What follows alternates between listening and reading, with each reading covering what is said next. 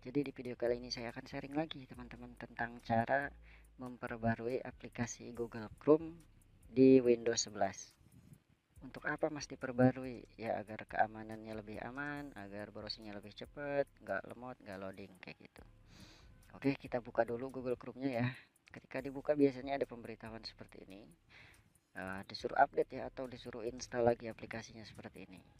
Nah, oke kita konekkan internetnya terlebih dahulu teman-teman. Agar apa mas? Agar kita bisa update ya. Nah kita konekkan internet terlebih dahulu. Nah, sudah ketika sudah connect teman-teman bisa menggunakan dua cara ya. Yang pertama teman-teman bisa langsung ketik aja di sini download Chrome seperti ini ya. Chrome terbaru. Ini cara yang pertama teman-teman bisa pilih web yang resminya seperti ini tinggal diklik. Nanti akan ada pilihan saya ingin mengupdate Chrome ya.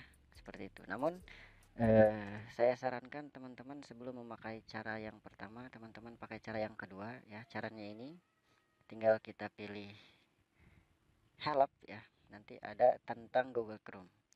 Nah ketika kita klik maka langsung otomatis update seperti ini. Ya ini cara yang disarankan namun cara yang disarankan ini biasanya ada yang gagal eh, ada juga yang berhasil. Kalau berhasil ya tentunya cuma pakai cara ini dan sudah beres. Nah biasanya yang gagal itu ada pemberitahuan update gagal ya seperti itu teman-teman. Cuma kalau misalkan gagal teman-teman tinggal pakai cara yang pertama tadi ya. Cara yang pertama tadi. Biasanya sih eh, berhasil ya nggak gagal. Cuma akan saya contohkan aja. Eh, siapa tahu ada yang gagal gitu ya. Siapa tahu ada yang gagal. Eh, contoh gagalnya itu seperti apa gitu ya. Oke teman-teman ditunggu saja ya. Ini loadingnya agak lambat karena internetnya lemot. Lambat. Nah seperti ini gagalnya ya. Ada keterangan error. Nah teman-teman tinggal pakai cara yang pertama tadi ya kita close tab yang ini. Kita close ya. Nah teman-teman silahkan klik saya ingin mengupdate Chrome. Nah ketika terbuka ya di sini teman-teman tinggal klik ya yang di atas kanan itu download Chrome ya. Yang di atas kanan download Chrome yang ini. Klik setuju dan install ya. Nah ketika sudah silahkan diklik saja ya Chrome setup exe nya nanti akan muncul pemberitahuan yes no silahkan pilih yes maka akan tampil seperti ini sesuai instruksi anda. Kayak gitu ya. Ini tinggal tunggu saja teman-teman. E, proses ini otomatis ya. Jadi apa mendownload aplikasinya secara otomatis dan update ke versi yang terbaru seperti itu teman-teman.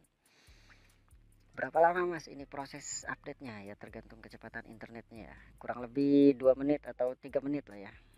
Dua menit atau tiga menit. Nah sekisaran tiga menit ya. Oke lah teman-teman. Google Chrome nya boleh teman-teman close ya. Boleh teman-teman close ini sudah ke proses pemasangan. Dan ketika sudah selesai maka akan terbuka otomatis dan kita akan cek ya hasilnya. Kita cek pergi ke help lagi dan tentang Google Chrome. Di sini Chrome-nya is up to date jadi sudah yang terbaru. Mungkin begitu caranya ya teman-teman ya. Cara ini bisa digunakan untuk Windows 10 Windows 11 Windows 7 ataupun Windows 8 Oke ya teman-teman semoga paham ya. Jadi kalau ada yang belum mengerti boleh bertanya di kolom komentar. Terima kasih sudah hadir sudah mampir ya. Jangan lupa like atau berikan super thanksnya. Cukup sekian. Assalamualaikum warahmatullahi wabarakatuh